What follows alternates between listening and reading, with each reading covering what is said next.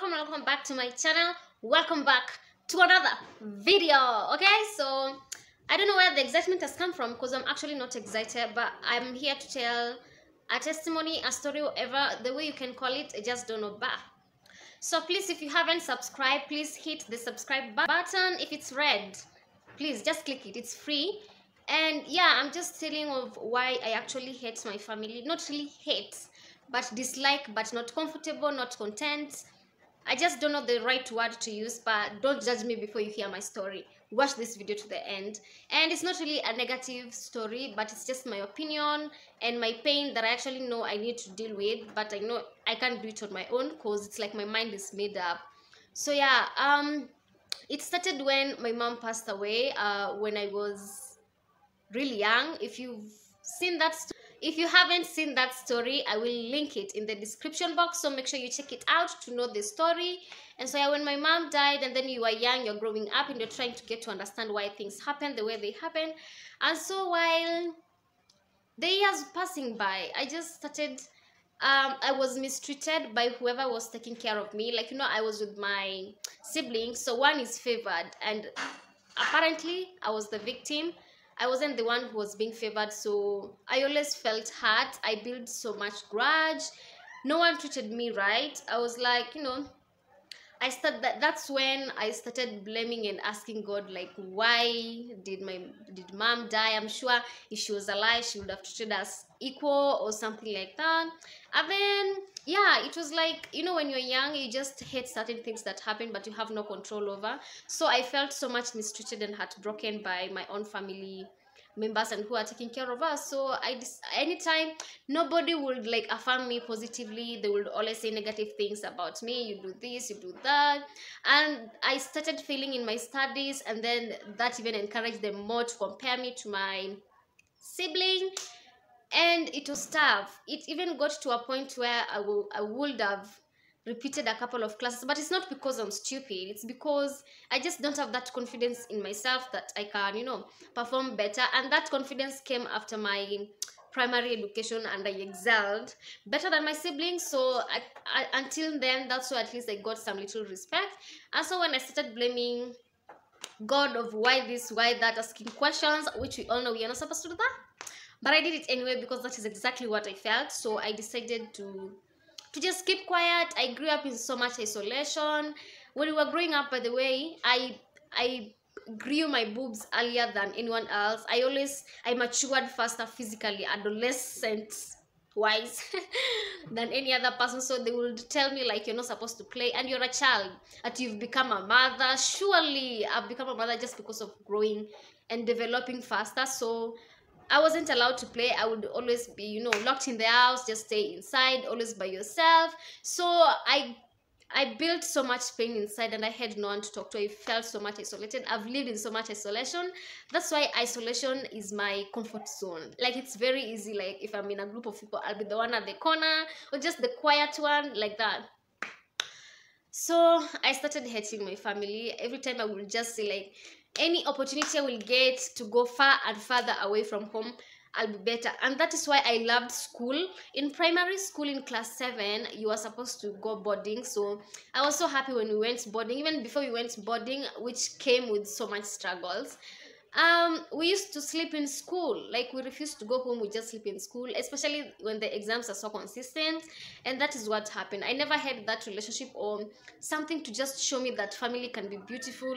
I don't know any beauty of family. I don't know how peaceful it can be. I don't know. All i know about family when someone mentions family to me all that rings in my head is chaos chaos chaos and chaos. So no one can actually blame me for not having that love for family. Anytime I'm around my county home, I feel so depressed, I feel so troubled, and other reasons that actually uh, um, added to that is that um, I went through so much struggles growing up. So anywhere I'm around my county home, it reminds me like literally everywhere I step, it reminds me of everything that I've gone through, all the isolation, all the troubles, all the harassment, all the embarrassment. Guys, I've gone through it all that you can think of. So that grew so much hatred and I just never loved home. So that is why when I went to high school, you know the way people celebrate when it's closing day when they're about to go home i never used to celebrate. I'm just like oh my god. Going back home again at that time i was we were living with my aunt and uncle.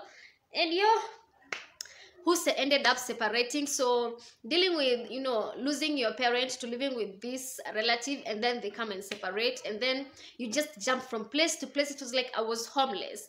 Because when we were living together as one family and they got separated we had to move back to the village in my mom's parents. Living in the village after some time we had to move again to the auntie who they'd separated and there was just so much chaos in between. I never had peace. So that is why i just don't like home. When i'm there i, I always feel like depressed. Anytime it's going to school yay. That's why when i was joining uni i chose the university that is as far as possible from home i had chosen like Pwani i wanted to go and study in coast but unfortunately i was called to embu. But i was happy anyway. And i remember my dad saying that why don't you change your university and come just near home? I was like no no nope no i wanna go as far as possible and i never enjoyed home. And it like i have to be begged and pressured for me to go home. I'm one of those children. And of course they don't understand. They're like you don't like your family. You don't want to see your dad. You don't want to do that and that. But they don't understand because for me it is my mental health. I came to understand that that place just makes me depressed. And i think the more it happens consistently it's just i feel like it's the universe or god telling me to, that i need to deal with it i need to deal with it. Actually it's not even to deal with forgiveness there is nothing to forgive here. It's me to accept that yes that is the path that i went through. Everything happens for a reason. Everyone goes through something and i have to deal with it and accept. But yo i just can't. I really hate home. I hate home I hate home. That's why I love school. Anytime I'm at school, I'm the happiest jewel, happiest baby girl. And now that I'm almost completing campus, I'm actually stressed. I'm not even stressed. I'm just like, whatever. Whatever will happen, will happen. Because I know already as a girl child, I'm being told to go home, but I'm not at peace with going home and all of that stuff. But yeah, I I just want to trust God that He will help me to deal with this. And yeah, the light is changing because of the sun. And so yeah, so when um I came to uni, I was so happy. Anytime it is holiday time, I just have to find something to do. And something fun is that nothing will be found so that I could go home. I just feel like it's the way the universe is acting, it just wants me to deal with it. And I just don't know what to do. So if you have a suggestion, that is if you've gotten to this and i need you to comment down below in the comments. Just tell me have you been in the same situations? Have family i've heard of so many stories that family reject you. I have faced the rejection. I have felt all kind of negative word you can use. From my own family my own blood. And every time i'm just around family another thing is that i feel like i'm a burden like the way they talk when you are around it's like you're a burden anytime you know you come you know you'll be asked for money because so I usually be like it's better I stay away and I take care of myself rather than come. And then they see you as a source of money. So yeah I just choose to always stay away. You know when I come I just come for some days rather than not staying there forever. It's boring nobody to talk to you don't even have neighbors you can associate with. Because of being brought up in isolation. You can't even make friends. And yo it, has been a tough season and i'm just coming here with my head trying to empty whatever thing is in my head so that i can just talk it out. But i just even don't know how to express it. And it's because i need help. It's been on my mind for months to actually talk about this but finally after talking about it. I don't know what to say but it's actually not comfortable for me to post this video but whatever. When you need help you need help so yeah i think it just has um when i i started asking god in prayer of why mom died and of course he actually told me that if she wouldn't have died uh my other other people wouldn't have taken responsibility for us. Maybe we would have suffered more. But yeah i just thank god for the fire of come and for the thing of going home and just accepting that yeah you went through all those stresses. Actually feel like tears are coming remembering of all the memories that i've had with place called home. And one thing i usually believe is that home is not a place it's your heart.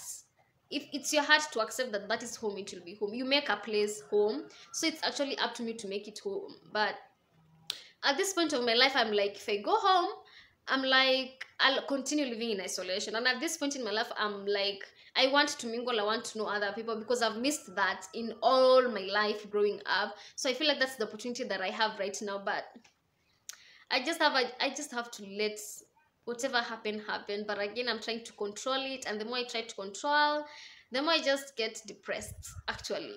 I anytime it's like it's time for you to go home i'm so stressed like oh my god home again.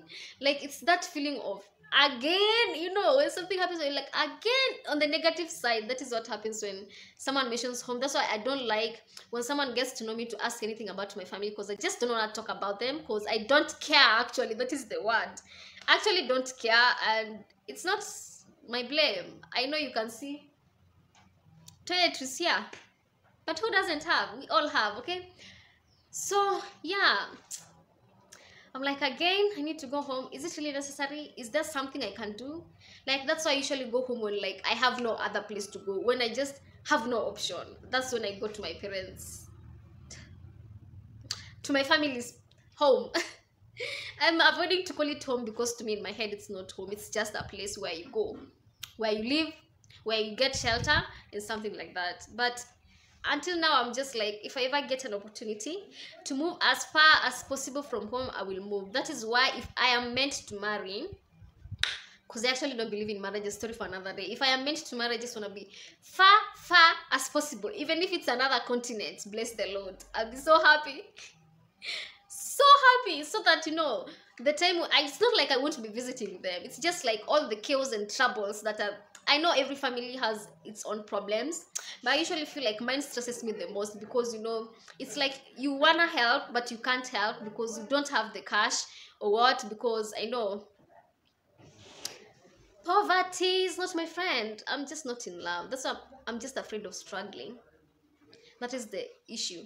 I feel like I've struggled so much in life and I don't want to continue struggling and yeah i don't know if this video made sense but i'm actually done. And thank you so much for watching. If you've gotten to this end. Tell me have i made sense? Because i actually don't know i've made sense. I've just spoken my mind out that i hate my family. I hate home. I hate my home county. I hate being in that place. It reminds me of my troubles. It reminds me of the chaos. Like i'm just never peaceful when i'm among family members. I'm like i can't speak my mind out. I can't express myself fully. I can't be myself. I have to close myself in this shell. It's full of negativity chaos chaos chaos no peace. And we know peace. I, I remember I, I last year 2019 I tried to pray for my family. Every time it was just dedicated praying for my family praying for restoration. I got tired yo.